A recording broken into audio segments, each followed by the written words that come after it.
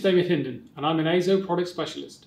I'm here today to demonstrate how to unbox the DuraVision FDF 2382 touch panel monitor. This monitor ships with a UK power cable, a DVI cable, a DisplayPort cable, a USB uplink cable and an audio cable. Remove the polystyrene and place to one side. Carefully place one hand on the rear stand of the monitor, using your other hand to help stabilise the unit. Ensure that you do not place any undue pressure on the LCD panel. Carefully remove the protective bag. The tilt stand allows adjustment between 15 and 70 degrees, allowing the monitor to be used in an upright or near horizontal mode. The monitor is equipped with the following ports.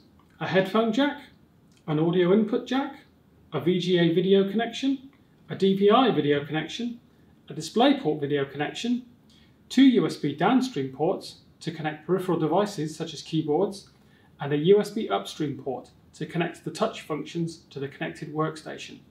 And on the opposite side of the monitor, you can find the power connector and power rocker switch.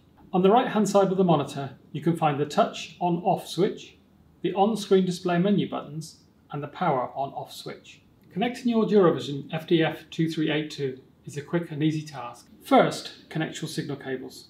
Here, we are using the DisplayPort video connection. Press the connector home, ensuring that it clicks into place. Connect the video cable to your workstation. Attach the USB Type-B connector to the monitor, like so. Connect the USB Type-A connector to the workstation. If using an alternative video connector, connect your audio cable. And on the opposite side of the monitor, you can find the power connector and power rocker switch. Once all your connections have been made, ensure the rocker switch to the rear of the monitor is in the on position. Then hit the power button to the side of the monitor. Your image will then be displayed.